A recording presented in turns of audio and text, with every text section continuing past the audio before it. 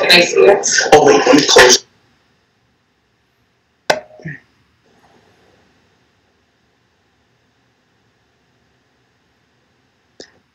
Okay, I just want to make sure everyone else is on mute. Please do not unmute yourself unless you are directed to speak.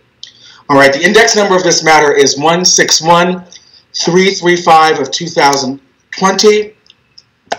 It is the petitioner's order to show cause to do the following.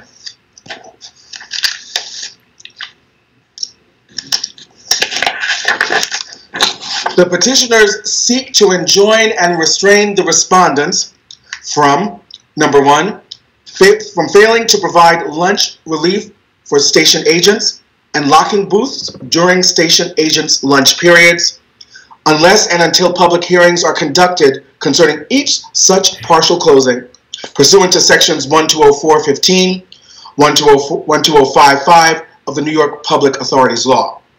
Two, they seek to enjoin and restrain respondents from par- partially or fully clo- closing any token booth in the New York City subway system, including but not limited to the booths listed in Exhibit C to the verified petition, unless and until public hearings are conducted concerning each such partial or full closing, pursuant to sections 1204.15, 12055 of the New York Public Authorities Law.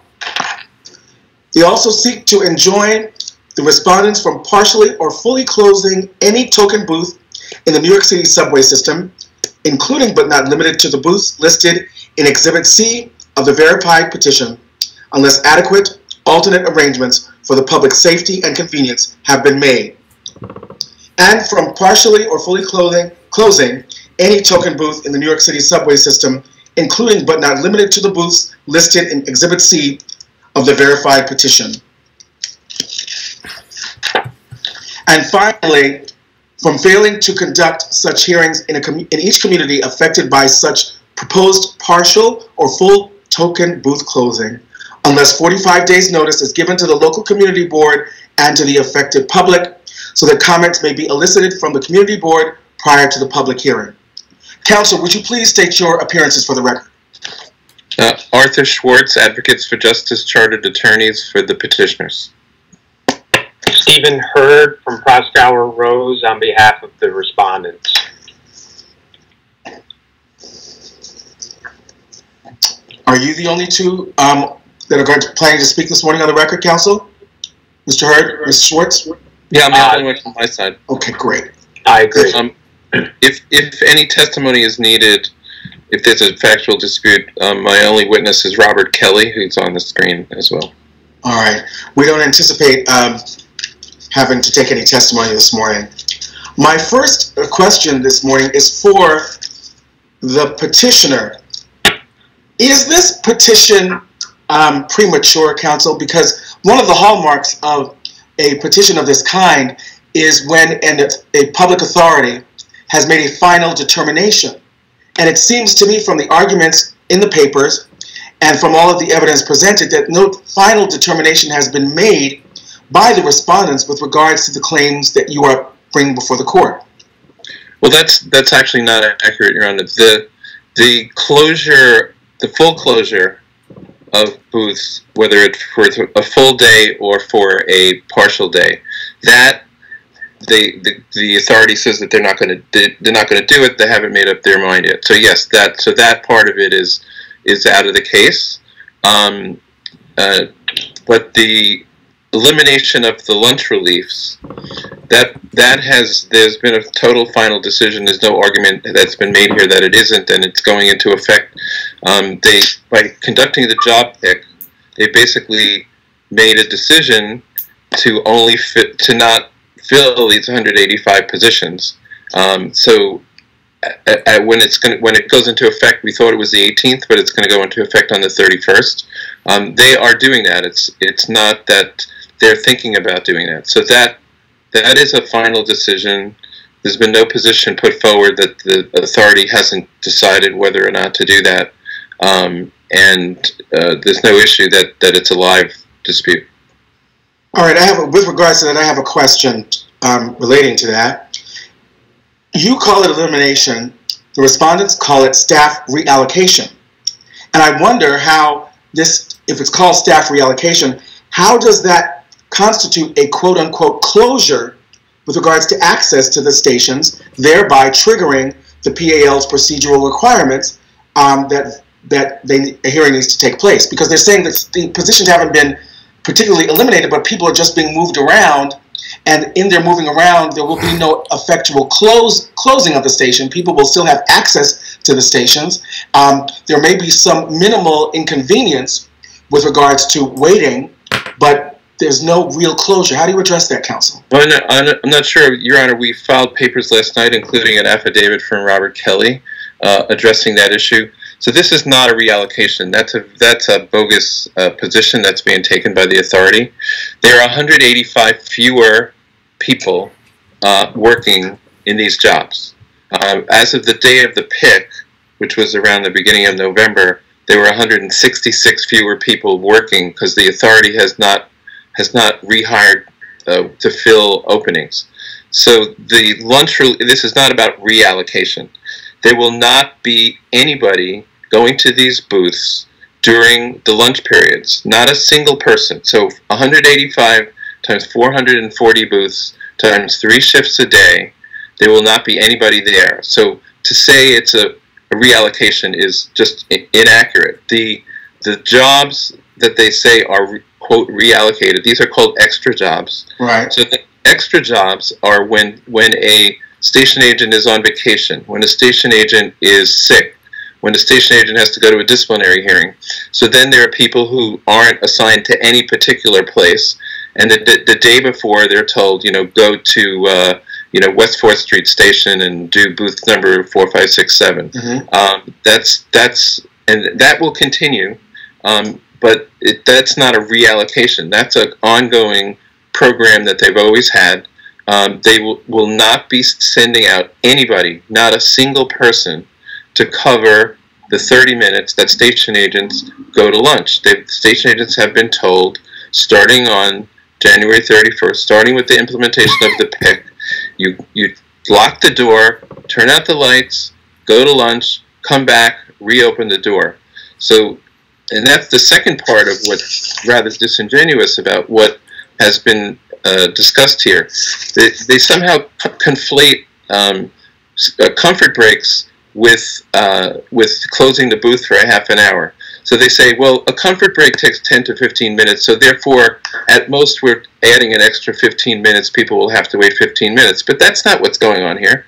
Everybody will leave for 30 minutes. The station agent will leave for 30 minutes. Whether or not they took a comfort break or not, they're going to be out for 30 minutes. So that means for 30 minutes, three times a day, every booth in the system will be locked. It will not be functional. There will not be anybody there, the, and and that that that is a change. That is a new uh, elimination of a means, because the statute doesn't say closure. The statute says any means. Mm-hmm.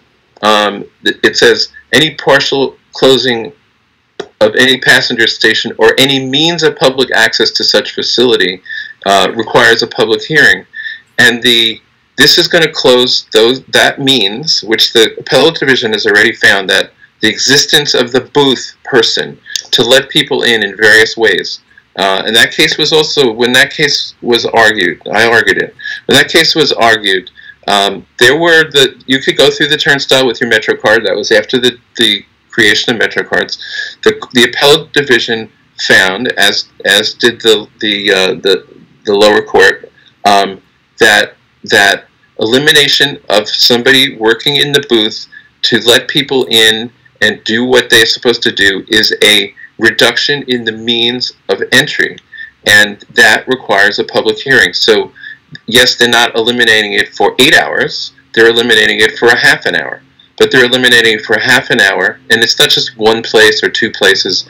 According to the affidavit we got from Mr. Um, uh, Mr. Sadler, I think was his name, um, the the chief officer, he concedes, David Santoro, I'm sorry, Mr. Santoro concedes that there are 440 booths. They all operate 24 hours a day. Uh, so there'll be three shifts a day, uh, and if you add up the number of hours during the day during the week that each each one is going to be closed, it's three times seven. So three, three uh, uh, it's an hour and a half times seven days a week. The booth is going to be closed. That is a reduction. That is going to happen. It's not. It's nothing about reallocation. It's not like, oh, we're calling the lunch leave people extra. That would be reallocation. We're calling lunch relief people extras, and we're going to, um, you know, ha- but have them cover lunch. That's a reallocation. That's like saying, well, we don't want to call them extra. We want to call them. We want to call them. Uh, we don't want to call them lunch relief. We're not going to call them extra. That wouldn't be an issue for the court. That's a reallocation. That's a redesignation of a name. That has that wouldn't even violate the collective bargaining agreement, probably. Um, but this is about there's 180 they, by January 31st there will be 185 fewer station agents, and nobody, not a single person, um, is going to cover a token booth that uh, during the lunch period. It, it's not it's no reallocation at all. Mr. Hurd. Thank you, Your Honor. Um, I, should point out uh, to start that uh, the order to show cause required that reply papers be submitted by 5 p.m. tomorrow. Mr. Schwartz didn't file his papers until almost 11 o'clock last night. I would submit that the Kelly affidavit and that memo of law should not be considered by the court. But I think I think your question to Mr. Schwartz hit, hits it right on the head, Your Honor. Um, first of all, this is not an elimination of any positions. Let's be clear about that. The 185 people who currently do lunch relief are going to be extras. And what that means is that when people call in, station booth operators call in uh, absent uh, or, or for any reason are unable to go to work, these extras fill in in, in those station booths so that those station booths don't have to be closed or someone doesn't have to work uh, an extra shift as a result of that. Nobody's, no jobs are being eliminated. And I think Mr. Schwartz is reading uh, the, the public authority law far too broadly. Um, it requires a hearing and a board vote when there is a closure of a station or a partial closure of a station. That's not happening here. The station is going to be open, every station is going to be open throughout the time period that it's normally uh, open. Excuse me, The Mr. Bruner decision that Mr. Schwartz relies on, the first department case, was a situation where station booths were actually being closed. 35 booths were actually being completely closed. There would be no station agent there. Hold on just a moment, Mr. Hurd. I have a, Sure. I have a very fundamental question here because you are saying what you argued in your papers that this is a reallocation, and Mr. Schwartz is saying no, this is an elimination. You've got to explain to me what it is. Is it an elimination, as Mr. Schwartz? Are you eliminating these 185 jobs, or are you just real reallocating these individuals to another um, title or position? We are not eliminating any of these 185 jobs. Rather than coming in and replacing people during lunch, they're going to come in and replace, sometimes they're going to replace people at lunch, but they're also going to replace people who were absent and, and, and they'll have a longer shift because the person is completely absent for the day rather than just for the lunch period. So it is absolutely a reallocation. There is not a single job that's being eliminated as a result of this move. And I would point out, Your Honor, that they already contested this before uh, before the an arbitrator as part of a, uh grievance um, saying it violated the collective bargaining agreement, and the arbitrator determined that this was not a violation of the collective bargaining agreement and was well within the rights of the transit authority to make this reallocation. But to, to be clear, because I think your, your point is, is, this, is the salient point, if this was an elimination of jobs, maybe we'd be having a different discussion. But this is not an elimination of jobs, and I think Mr. Schwartz is confused by that, that this is somehow losing 185 jobs. None of these people are losing their jobs. And the winter pick that is at, at issue here made clear that the people in those jobs would would be moved to what's called an extra role, which is filling in for other people, but they would not be losing their jobs. All right, hold, hold this point. Mr. Schwartz, I'm going to go back to you. From what do you get um, the title or the, the, your information saying that this is an elimination, not a real allocation? Because this is Well, that- fundamental to our discussion. That, that's why I, I suggested we may need testimony, but Mr. Kelly's affidavit says there are, at, at the time of the pick, there were 166 fewer people. What happened is um, the, the year before, they, they're supposed to pick every six months, but they didn't pick in the spring because of COVID. Um, there was 166 fewer people picking jobs because the authority hadn't hired to replace people who left through attrition. And by January 31st, he expects it to be down, the census to be down by 185. It is a hun- that, and Mr. Kelly can testify to that. And I, I really, you know, what Mr. Hurd says is totally untrue. There are 185 fewer positions in the stations department, and the 185 jobs that those 108 people did was lunch relief. And Mr. Hurd just said sometimes they're going to replace people at lunch. That is totally untrue. That is a falsehood. Nobody will be replaced at lunch. That function ends. It's over. The the the nobody who's working extra will do lunch relief. That's what the, the documents that we put Exhibit C says very clearly that no lunch relief will be done. Station agents at lunchtime are to lock their booths and leave. It's 185 fewer station agents on the job the positions, the extra list, and we're not talking about whether some people who used to be extra list now will have a. I mean, used to be lunch relief will now have a job. That's not. That's not the issue. Um, the issue is there's 185 fewer jobs, and every single one of those jobs is lunch relief, and there will be zero lunch relief people. Uh, none, zero. And Mr. Kelly can testify. He went through the numbers with me. I somehow doubt that that. Uh, that Mr. Santoro would actually disagree if he's on the if it's he's here and Mr. Hurd wants to put him on. So to say there's no loss of jobs is not true. It's just a falsehood. And I, and I mean I'm saying that as an attorney. That is a false statement. There are 185 fewer station agents, and every single one of those jobs is a job doing lunch relief. So the you know it, it, it's just a falsehood that Mr. Hurd is saying. And the other thing is the other thing I want to say is he also said the statute only talks about closures of a station, um, and that's not what the appellate division said in the Reuter case. In this, in the, in they said that closing a token booth, even for one part of a day, hmm comes under the statute. They said that the statute has to be read with a because it says means of elimination or reduction of a means of entry. It doesn't say closure. Uh, we have an affidavit from Jerry Nadler that basically, you know, supports. It supported what we said in 2001, and it supports what we're saying now. That the the appellate division said very clearly that closing the booth, even if the station is open, even if there's a MetroCard vending machine, even if everybody that comes in can, you know, who's capable of it can buy a MetroCard and slide it through the turnstile, you eliminate the booth, it triggers 12055, which requires a public hearing with notice 45 days in advance. You cannot take the language of the of the Nyberg versus Reuter case and uh, and read it to say anything other than this statute has to be interpreted broadly. The legislative history supports what we're saying. It doesn't support what Mr. Hurd is saying, and also the facts. And I'm, as I'm saying, that's why I have Mr. Kelly here. If somebody wants to testify that there's no reduction of jobs, I would I would love to cross-examine that person because that person would be testifying falsely.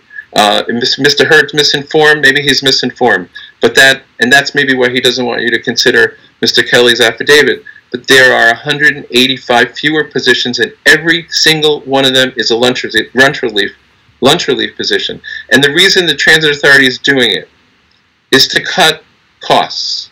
That's the reason they're doing it. And I understand that, right? They have budget problems. And they said in this department, they need to cut 185 positions. It saves them, you know, I don't know, $15 million in wages. And the way they decided to do that was to eliminate lunch relief. Uh, Uh, and it- Mr. Schwartz, I'm going to stop you there because I want to go back to Mr. Hurd. It was his argument, and I'm just thinking as you are both speaking um, as to whether testimony might assist the court in coming to its conclusion. I don't believe we're going to take testimony today because no one was on notice that they should have a witness and on notice that they should prepare to cross-examine or examine a witness. But I'm thinking about that. Maybe we should um, adjourn this until tomorrow to give up people an opportunity to prepare their witnesses so that um, everyone knows what we're doing. But Mr. Hurd, would you just answer Mr. Schwartz's um, comments, please? Yes, yes, Your Honor, thank you. Mr. Schwartz is conflating two things.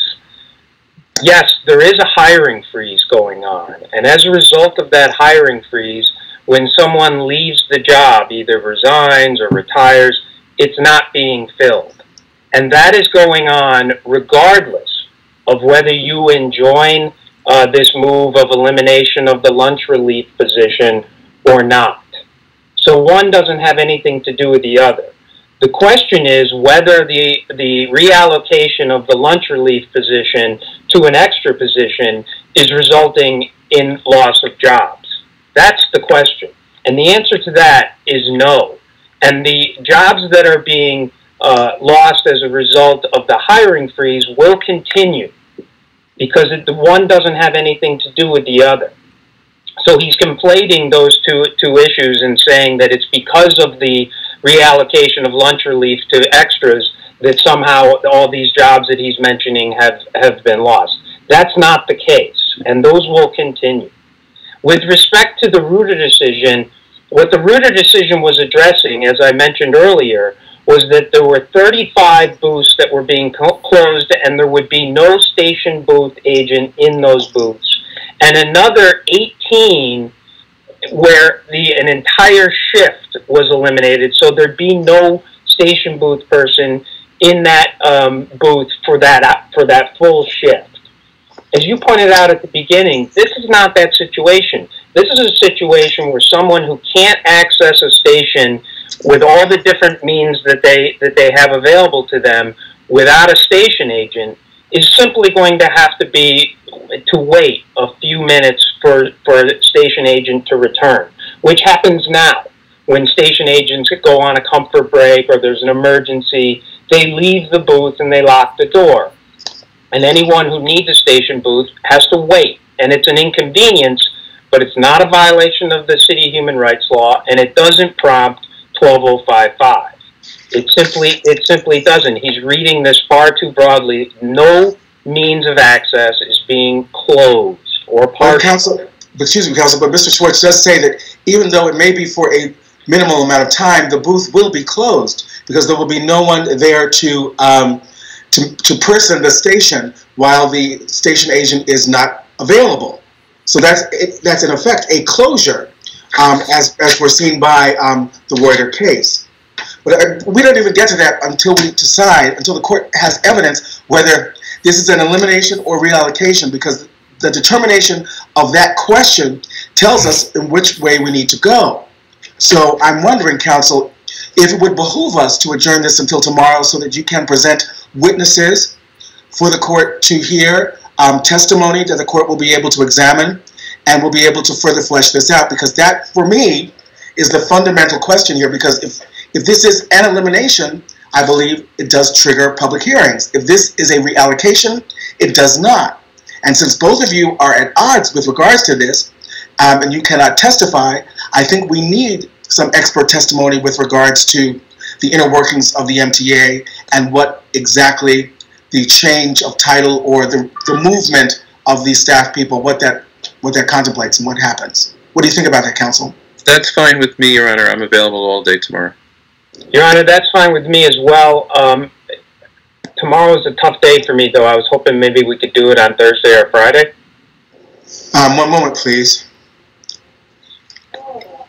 I'm going to check now. Thursday is.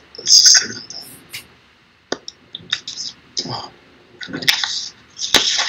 You have to excuse me. I'm like Captain Kirk. I've got all these screens in front of me, but I don't have a cool outfit, so I'm trying to just do all No, this. you have, a, you have a cool outfit, Judge. Oh yeah, yeah. There's no starship thing on there though. I can't be beamed up. So. And you have a bow tie. Oh yeah, thank yes, thank you. But let's see, no, Thursday is not good for, that's our motion day. And tomorrow's not good for, it. Friday is the, the, the only day I could do it. I could do it Friday at 10 o'clock. That's fine with me. That's fine with me, Your Honor. All right, what- what I'd like you to do, we'll adjourn this until Friday at 10. Counsel, would you exchange um, your witness lists and um, and also inform the court as to who will be testifying? And we will commence our time on Friday with the testimony, starting with Mr. Schwartz, because this is his petition, and you'll have an opportunity, Mr. Hurd, to cross-examine, and vice versa. Is there anything else you'd like to lift up to the court before we adjourn this for Friday? Your Honor, is there, uh, if we send you a list, is there, a, we don't need to do, we don't need to do this online, but, um, I don't have your chamber's email. I just have the, or should we just send it to, uh, the park? No, you can send it. I'll give you our part email, which is one moment, please. Okay, let's see. All right, this is it. Small case S F C S is in Sam, F as in Frank, C as in Charlie. Dash. This is also lowercase. Part twenty three at nycourts.gov. Okay. And should you have any other questions, you may refer your questions to that email also.